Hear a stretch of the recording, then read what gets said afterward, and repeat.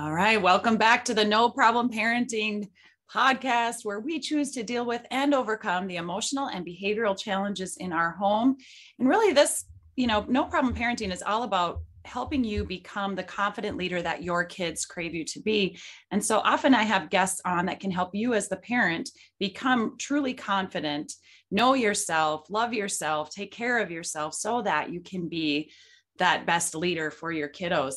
So today I brought a special guest on that's going to help us mamas who are maybe maybe you're a single mom and you're tired of being lonely. Maybe you're in a relationship but you're not getting the love that you crave from that relationship.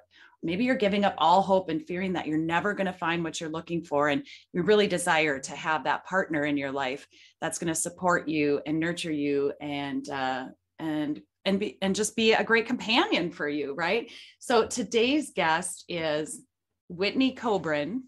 I'm going to do that again. Today, my guest is Whitney Kobrin. Whitney has an educational background in psychology um, and 15 years of professional recruiting, matchmaking, and coaching experience. Whitney now fulfills her life's purpose as a love coach for women. Her signature coaching program helps clients to identify their blind spots that get in the way of having an amazing love relationship. And her 14 week program is called Love Yourself, Love Your Life, and Have Lasting Love. It incorporates holistic healing that aligns the whole self, including mental, emotional, spiritual, energetic, and physical dimensions. Can't wait to hear about all of that. Whitney has also been a stressed out single mom who needed a major energy shift to become the parent her son needed her to be. So, welcome to the show, Whitney. Hi, Jaci. Thank you so much. It's an honor to be here.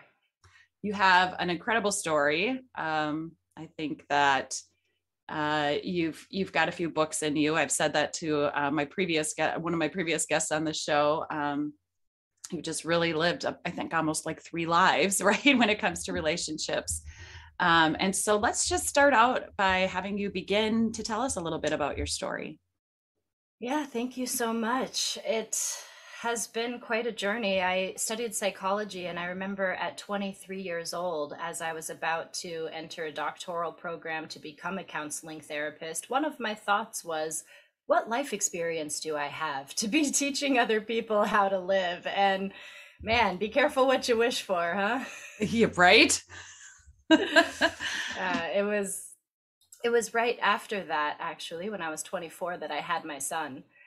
And that was uh, a, a twist in the road that i hadn't been expecting. And i think you know talking to you about parenting and having looked at your amazing course online which i appreciate being a part of oh, i've just you was reminded of how stressed out I was back then when my son was a baby and a toddler and just trying to work things out with a very difficult and even toxic relationship at the time and trying to work full time and make ends meet and financial pressures and it was really hard. I remember going to the dentist and he told me I was grinding my teeth at night. And I said, No, actually, I'm grinding them all day long because I was so stressed out. Oh, I'm so glad to not be in that space right now. Yeah, for sure. And, and, you, um, so you've had your son and we're in a relationship and that relationship didn't last super long. It was kind of a, you guys, you guys kind of jumped into it pretty quickly, right? Yeah yeah, we did. We did. And no, it didn't last all that long. I think we finally broke up for good when my son was turning 2. So we we really fought for it and tried, but it was not going to happen. Uh, so then I was a single mom for a while, had some relationships for about four years, just dating off and on. And it was really hard. And I was one of those people that would just try so hard. And I remember thinking, how come the guys that I like don't like me? And how come the guys that like me, I don't like? And there was just this mismatch crossing of energy. And I think a lot of other people that are single and dating can relate to that. And I feel like I finally eventually cracked the code in learning how to treat the guys that I liked like I treated the guys that I didn't like. Like just not over tr- not trying too hard to make it work or to please them and just being more concerned with myself and just being okay and I think that relates to our topic as well because we can only take care of others as well as we take care of ourselves. And we Absolutely. can only yeah, we can only love others as much as we love ourselves. And people pick up on that. Even if it's not obvious or it's not discussed, people pick up on it and our kids pick up on it. So now did you start is this when you kind of started to learn about shifting your energy and how important that was um and and in your um early career? Is that when you like yes. So when my son was turning 4 i or he was about to turn 5 and start school i realized something needs to change this is not okay this is not a way to live to be in survival mode just barely making it, scraping by, trying to have a relationship, but failing over and over again. And that was it. That was my something's got to change. And I found a coach online and started reading all the books and just absorbing everything and really I I even started an Audible subscription and I started listening to a self help book every single month. And that really helped turn things around for me. I found some mentors in my workplace and I just really started shifting my own energy. And it helped so much. And that's when I met and married my husband. And of course, I thought that was going to be a happily ever after. But as I've told you, he passed away in 2007 which was devastating and sudden and unexpected. And then after that, my life changed again completely. And I left my corporate HR talent acquisition job. I had been in that field for 13 years. I had enjoyed it. I basically interviewed people for a living and put processes together. And I just didn't have the passion to go back and be there till 6 p.m. every day while my son was at daycare and I was hardly spending any time with him. So I left and I became a matchmaker, which was this blend of my interest in psychology and in recruiting. And that was really fun. And I have some couples that are married today, and I matched myself during that time and I'm engaged. But I had some couples or some women that I could set up on date after date and it wasn't working out. And that's what I got really curious about. And so then I did my coaching certification and I started coaching my matchmaking clients. And it was interesting. I found that most of most of my clients were women. I think I had one male client throughout the couple of years that I was there. But one of my most of my clients, they fell on two sides of a spectrum.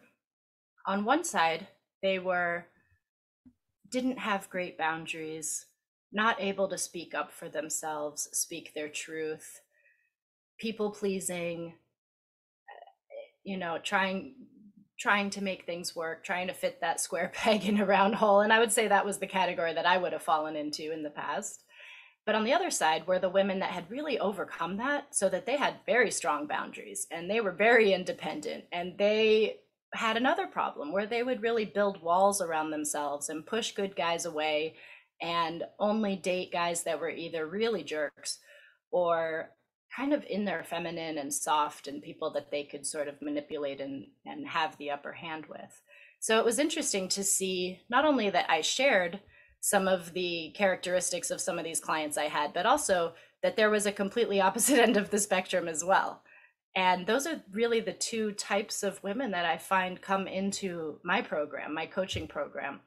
Because when you're really healthy in the middle, where you're able to speak your truth and be confident and have strong boundaries, but not push people away or build walls, I mean that's the that's the sweet spot where right. you were able to have those healthy relationships for the most part.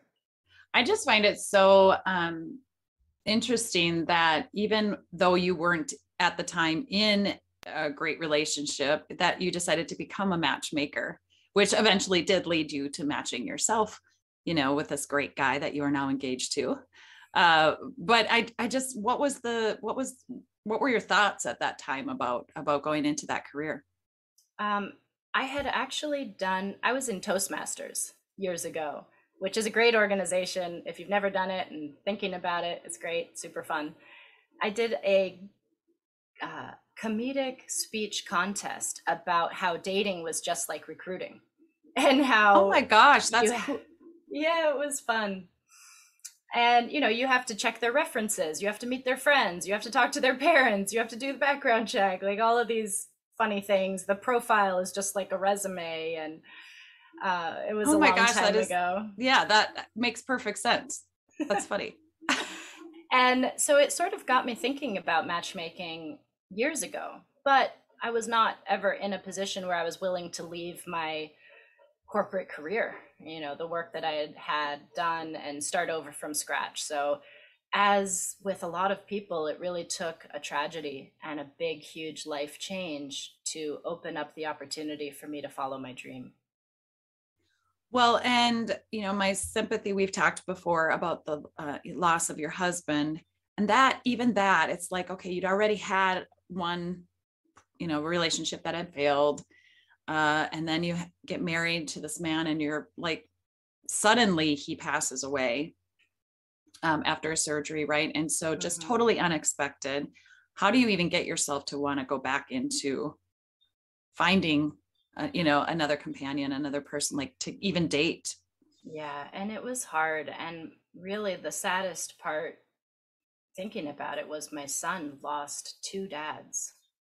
You know, he right. didn't really have a relationship with his um, his Birth biological dad. father mm-hmm. and then lost his father. And so that was really sad and hard. But I also, I really felt drawn to be in a relationship again. You know, I felt like it was in the cards for me, but I also waited at least a year before even thinking about being in a relationship. So I, I you know, I I dated, I had company, I a little bit, but I was not looking for a relationship. I I was really focused on just the grieving process and the ups and downs of grieving, which grieving is unique to everybody and I just remember giving myself permission to feel whatever came up. And sometimes I would share stories with my late husband's best friend and we would laugh and crack up and remember those funny times and just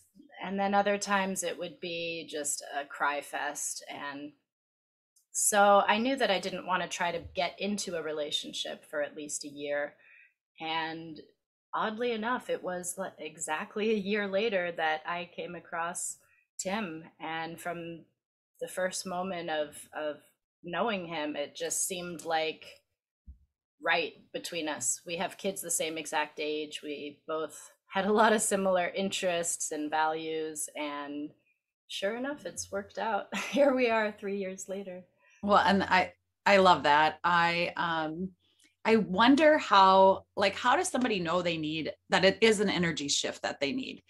Like d- describe that for people that maybe aren't as in tune to their energetic self yes definitely so one is that you're always in your head always in mm. your head, always making lists, always thinking about the next thing or thinking about the last thing. If you go to bed at night and you can't shut your head off and you're just constantly thinking about other things and ideas, um, that's one sign that you might need an energy shift. Another is when you feel stress in your body. So if you feel your heart rate constantly high, shortness of breath, um, just the signs of stress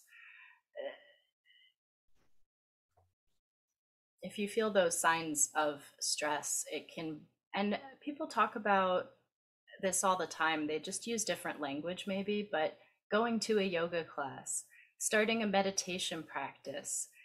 I like to teach women feminine flow. So it's an embodiment practice where we just put on music and allow the body to move without planning in your head. So the practice is really similar to meditation, where you're just dropping out of your head and not hanging on to your thoughts, but instead dropping your attention down into your body because we forget that we are instinctual animal creatures. We have this innate wisdom in our bodies. Uh, we have more neurons in our gut than we do in our brain, we've recently found out. And we do have a strong gut feeling about things. We have a strong heart feeling about things. And what happens is our head usually gets in the way because it's the one, it's the voice of reason or the voice of fear that says, okay. you could never do that. You're not good enough. You're not going to make it. That's for other people. You need to play it safe, hold back, protect. I can't do it. It's not the right timing. I have kids, you know, like I, my, I'm too busy. Right. Yeah. And granted, sometimes fear is good. Again, with us being natural animalistic creatures, we need to know that if you take a step off that cliff that you will die.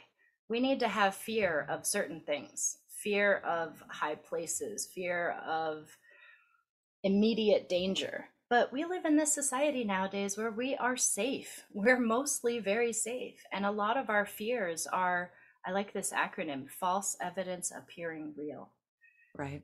And we just make these fears up in our head and then we hang on to them and then they're confirmed by the people around us and the stories of our family and we just buy into our own lies and often stay stuck. And so when we have an energy shift, it is like getting into our peace and our clarity and being able to listen to and hear and follow our own innate wisdom, especially we as feminine creatures. If you are a mom listening to this, we have an even stronger intuition and um, internal wisdom.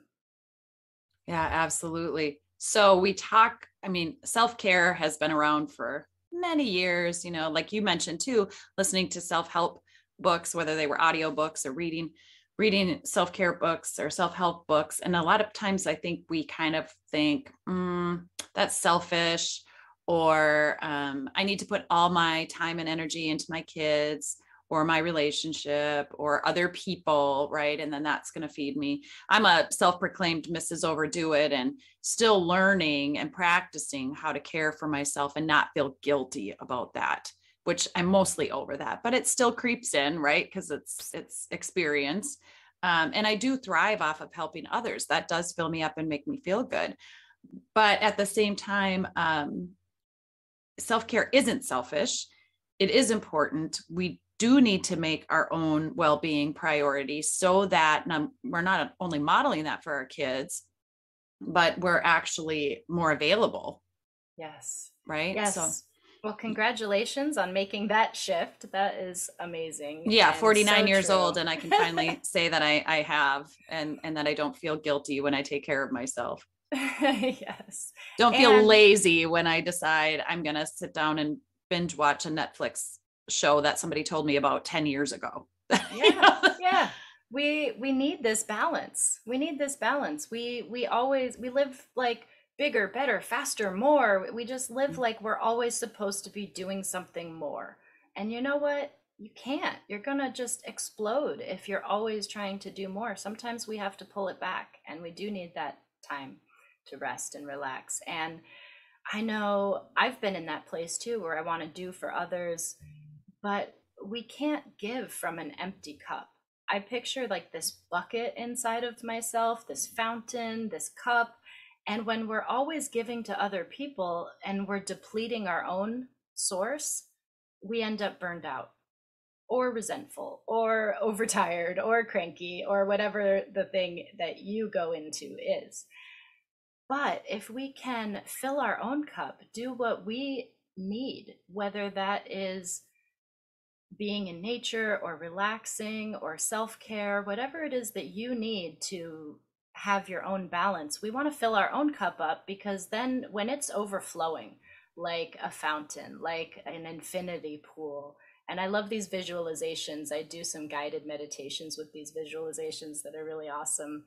But when we can overflow with love and abundance and energy from within, we're able to then give to others from a really generous place. If yeah, have, absolutely. I'm sorry, sorry I interrupted you.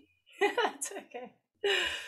Um, I heard this great story from a book where they talk about if you have, imagine that you have a kitchen where you can cook anything and you can make anything that you want and it's always delicious and amazing and so you have so much that you're always inviting people over and feeding other people and one day there's a knock on your door and there's a guy there that says I have pizza and I can give you this pizza kitchen and you can make pizza anytime that you want. And you're like, oh, well, that's cool, but I can actually make anything I want in my kitchen, including pizza. So I'm good. Thank you very much. Bye bye. And imagine that this pizza person says, I can give you this, but you have to then let me be in control of your life. Well, of course, we're not going to do that. We're going to send them on their way. But imagine that you don't have this magic kitchen and you actually don't have enough food. And then you get the knock on the door and someone says, I can give you all the pizza you want. You just have to let me be in control of your life. Well, you need to eat and you need food. And if you don't have any for yourself, you're very likely to say yes and to bring that in and to make the sacrifice of giving over your power and your control to have that. And that's very much what love is like. This and not only romantic love which yes we know what this like. When we don't have that love for ourselves and within ourselves we will make great sacrifices to get it from other people. But we can look at this also as our energy our life force and what we're able to do and give. So, even with our kids, if you're constantly depleted, you don't have energy, you don't feel loved, you don't feel seen or cared for, how are you going to be the best for your kids?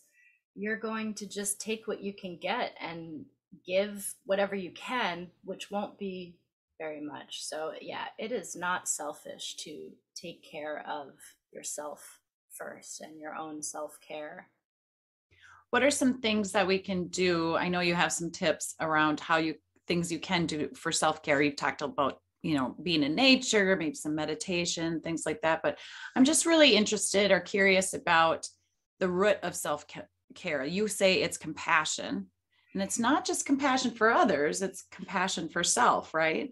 Yes yes. So the root of self-love is self-compassion.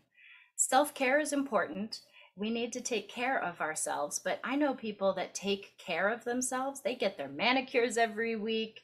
They do baths. They look nice. They act the part. They're taking care of themselves. But as soon as they mess up on something, they say, You're so stupid. You screwed up again. How could you do this? And there's this really negative self talk. And that's not love. So, compassion, there's actually a three step process for practicing self compassion that I teach. And this is from the Mindful Self Compassion Workbook by Kristin Neff. It's also a book, and she's a great teacher. So the steps are one, awareness or mindfulness, two, kindness, and three, common humanity. So the awareness is first just to be aware of what you're feeling. What do I feel? Oh, I feel sadness. Where in my body do I feel it? I feel it in my chest. I feel like an emptiness in my chest. Some people get different physical feelings, and it's really important to pay attention to those. Our feelings and our emotions are messages, they're trying to tell us something. So we want to be open and aware and listening first. And then step two is kindness. How would you talk to a six year old kid? Mm. That's how we need to talk to ourselves. And if you're listening to this podcast, maybe you're a little embarrassed by how you've spoken to a 6-year-old and that's okay. We we feel for you because I think we've both been there too. I know in your program you have that what did you say to your son that one time? Whoa, when I called him a dumb yeah. ass.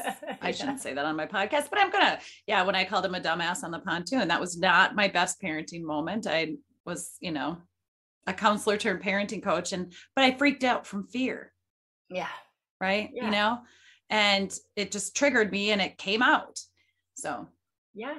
And so when we think about that as the relationship with ourselves, all of a sudden we just get triggered and we start saying, "Oh, you're so stupid. I hate you. Why could you do this?" And we yell at ourselves. And that's yeah. not compassion. That's not love. So we want to learn to speak to ourselves with kindness, to say, "You screwed up that's okay. It's all going to be okay in the end. let's just pick up right where we are. What can I do next? Um, give yourself some self soothing. That's another thing that we don't teach enough, but is such a great tool for parents because we need to know how to soothe our children, but we also need to know how to soothe ourselves. So the self, the kind words, everything's going to be okay. You got this. It's all right. And then soothing touch. I find just stroking your arm, touching your face, touching your hair, like just like we touch and cradle and hug a child when they're upset, we could do that to ourselves and it feels really good. yeah, and and I, you know, I gotta okay, I just had a thought about this. Darn, I'll have to cut this out. Um those moments when you mess up as a parent or at work and you lose your cool or wherever it is, right? And like for instance, with me, when I freaked out um, out of fear that my son was gonna, you know, not turn the pontoon in time as another boat was coming by, and I said that to him. Well, then obviously caught myself right away once everything was like safe. And I apologized to him and I made it up to him. I made it right. And can, those, those, uh, for all you no problem parents out there, you know what make the make it right technique is all about. But then afterwards, even though it was okay, and he had forgiven me, and you know, we were moving on for days, it bothered me. And I kept beating myself self up for it. I was shooting on myself. Right. And I just this negativity kept, you know, and finally one day my son said, Mom, you've apologized. I get it. I know you were scared. You didn't mean that. Like he at 10 years old is telling me, get over it you know, move on. I'm good. But what do I have to do? Negative, negative, negative, you know. So I do like that you say that um, not only to give ourselves some grace, but actually feel it and touch and hug. Touch is so important. And we often just say it's too mushy or it's too, you know, like we poo poo it, like mm-hmm. it's some some terrible thing, or we expect that we have to get it from somebody else, mm-hmm. right? Mm-hmm. Um, everybody yeah. needs a hug right but we can do it we can do that ourselves tapping is a really good uh, way to calm down the central nervous system as well i don't know if you use that in your your approach at all with with people but anyway yeah that could be really valuable I might just cut that part out because I know you don't do that. But so, how can we be consistent with well, self care? So, there was one more part to. Oh, I'm sorry. The compassion. Um, so awareness and then kindness and then common humanity. And common humanity has two parts. One is to recognize that you're only human. We are human. We make mistakes, all of us. And that's okay. We don't have to be perfect. We all know that perfection is not a great thing, that it can be the enemy of progression and success. So just recognize when you're having a hard time, when you have this negative self talk, that it's okay. You're human, you screwed up, it's all going to be okay. And the other part of common humanity is recognizing that you're not alone. You don't have to suffer alone. You can call a friend, you can reach out to someone, you could just rest in the peace knowing that there are lots of other people, lots of other mothers out there that are also struggling with the same things that you are. Absolutely. I was going to say something about the common humanity part. No, I lost. I heard your cat meow, I think. So sweet. um my other one i got one on my lap and one out there. Oh my gosh you have more than one. Oh cute. Oh that should, that one looks like my dad's cat. Hmm. um so cute. Okay so darn where was i going with that? Common humanity. Anyway we'll move on to the we have to wrap up soon anyway. Um okay. all right so tell us how you work as a love coach and how people can find you? Like what does the process look like? What do your courses look like? Yeah, so I invite everybody to go to my website, whitneylovecoach.com, and download my free gift, which is three shifts to manifest your ideal relationship, which is for women who are looking to attract a masculine man.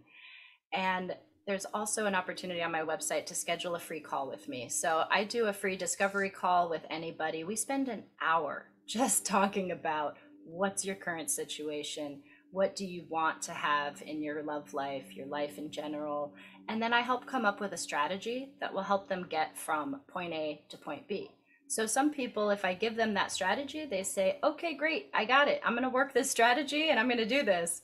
And then other people say, well, that sounds great in theory, but how am I going to get this? I don't know how to do that. And so those are the people that I help. And I have a program that's three to four months long where we really dig into your relationship with yourself first. So the first part is love yourself.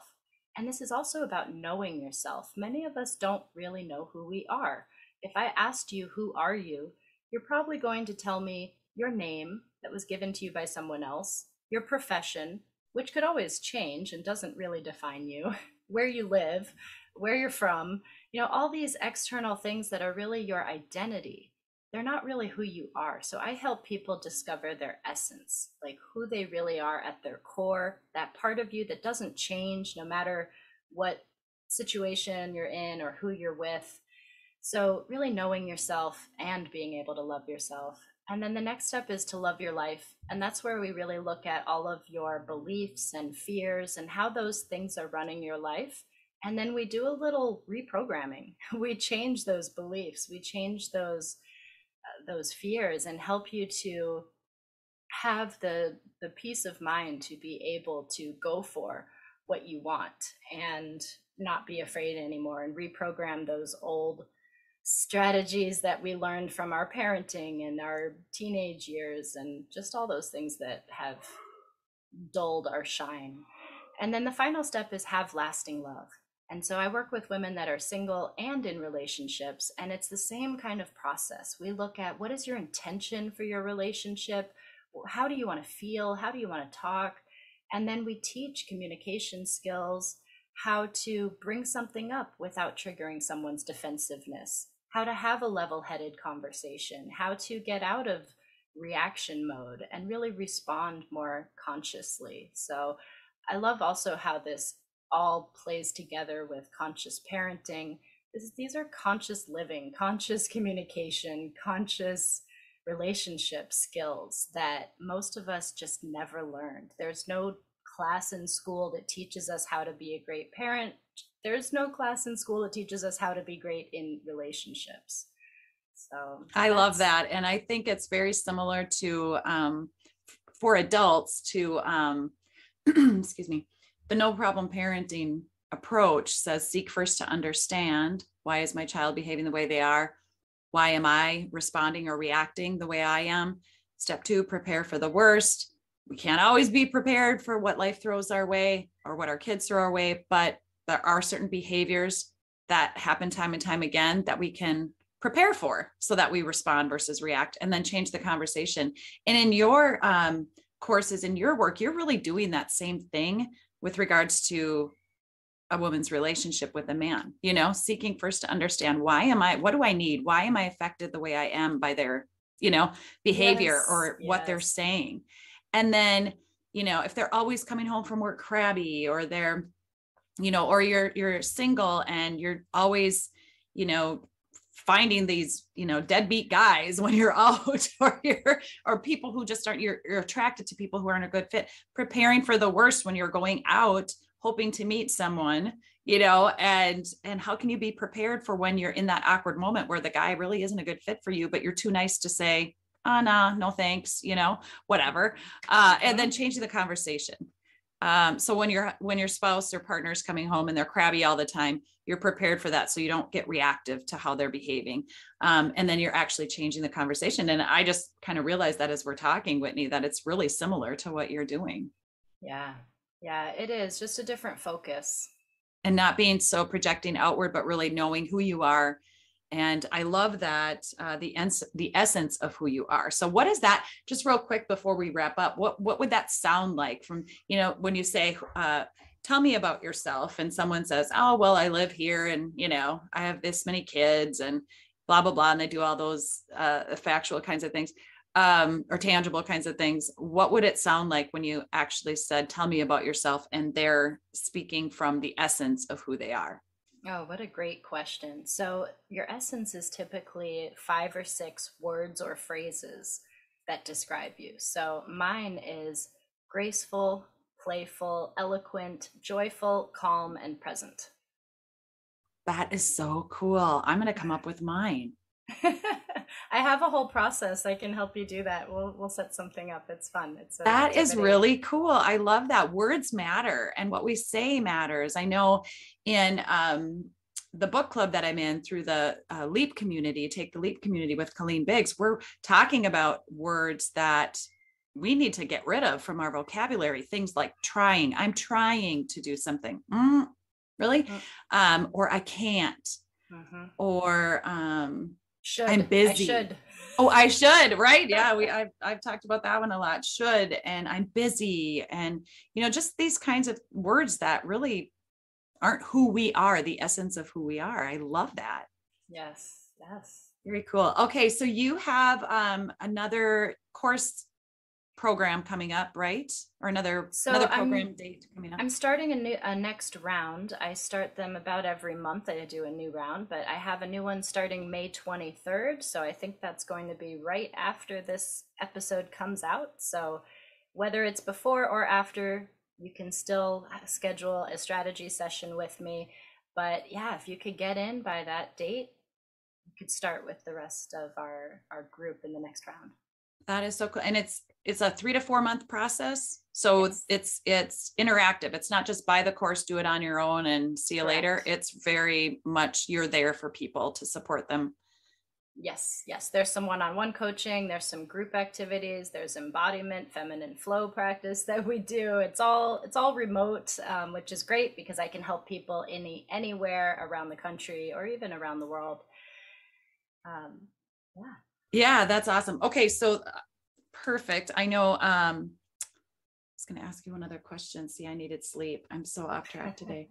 uh was I off track the last time we talked too? No. like, is there a common theme happening here? Have some compassion. yes, right. I definitely need to do this. Um, well, I was just going to say, I was thinking as you were describing that, I'm like, what if you're the a woman who has you know, pretty okay self care. You're doing yoga, you've got a routine, you know, you're feeling pretty good.